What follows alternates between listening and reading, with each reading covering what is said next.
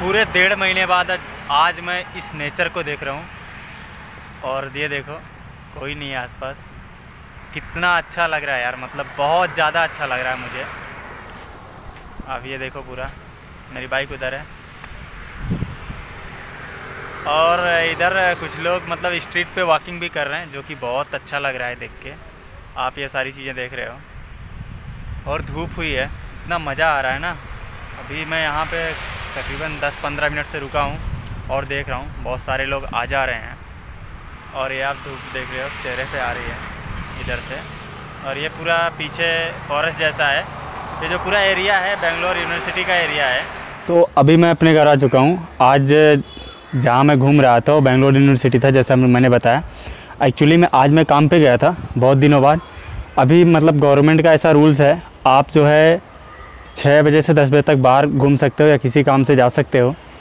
तो थोड़ा बहुत काम हमने शुरू किया है, क्योंकि डेढ़ महीने से घर में ही था।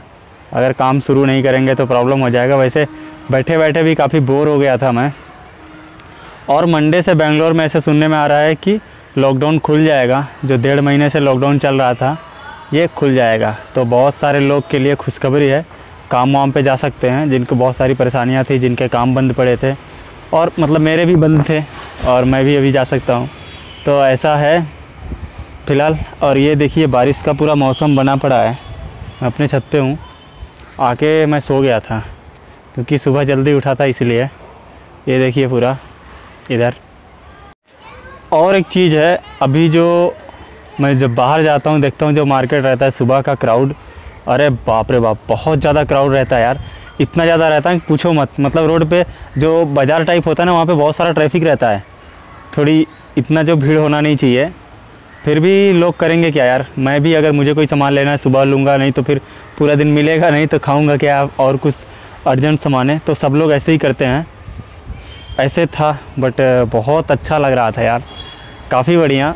और ये जो मैं भी बेंगलोर यूनिवर्सिटी के पास में जो गया था, तकरीबन पिछले साल में गया था और शायद इसी टाइम में, एक साल हो गया जी, जब मैं लॉकडाउन खुला था, मैं घूमने के लिए वहाँ गया था और बहुत सारी चीज़ें कवर करी थी। अगर आपने नहीं वो वीडियो देखा है तो वो भी आप वीडियो जाके देखो।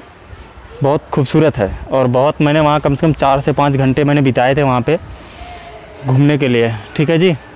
वो देखो आप जो छत है ना, मैं, मेरे छत के बाजू में एक नेबर्स हैं, उनके छत पे देखो ऐसा पूरा वो पेड़ लगाया गया फूलों का और अलग अलग हैं। तो आप छत पे ऐसे बहुत सारी चीज़ें लगा सकते हो।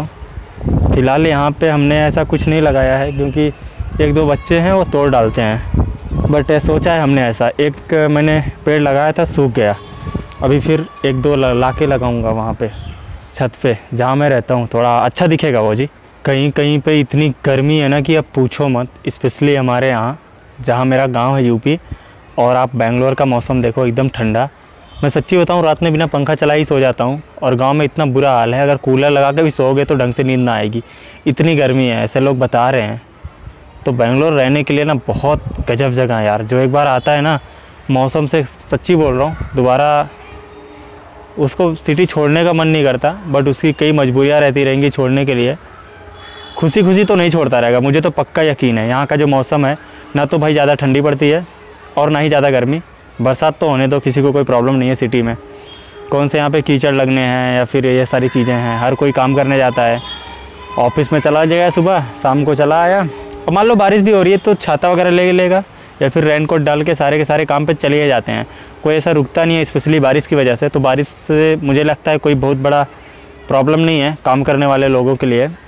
तो यहाँ पे एक सेटल्ड है। मतलब रहने के लिए आप बोले हुए तो बहुत गजब है। महँगाई थोड़ी है बट कमाई भी उसी हिसाब से है। अगर आप थोड़े दिन सेटल हो जाओगे, कमाई उमाई सब ठीक हो जाती है। ऐसा मेरा मानना है। शुरू शुरू में थोड़ी तकलीफ़ होती है बट आप अपने खर्चे भी वैसे रखो।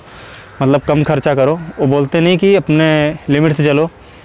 जो आप, क्योंकि आप इतनी दूर कमाने आओ, थोड़े पैसे भी बचाओ और खर्चे भी करो। ऐसा नहीं खाने के लिए मना कर रहा हूँ, खाओ। बट जो हम, हमारे कुछ और फालतू खर्चे होते हैं, उनको आप कंट्रोल कर सकते हो। मेरा ऐसा मानना है। बाकी आप क्या सोचते हो, आप भी बताओ।